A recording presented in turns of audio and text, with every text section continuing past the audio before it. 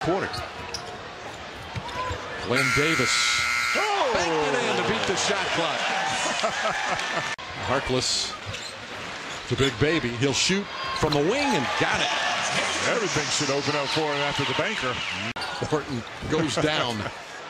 He's back. Davis facing up against him. Glen with a pump fake and a step through. Fly by. 5.50 to play in the first half. Glen Big Baby Davis playing in only his fourth game of the year. Just It's just like, uh, what's it doing at Georgetown?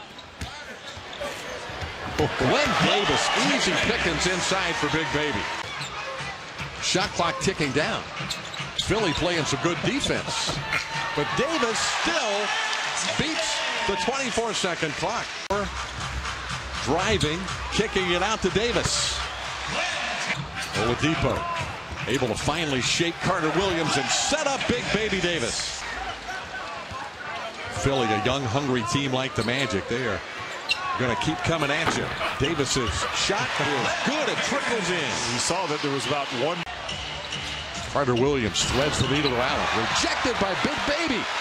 They're coming right away to double team mm-hmm. Aaron now. Big Baby flashing to the rim. Lays it in. Cheyenne working that turkey tray. Nick Howesdon. Be, be careful.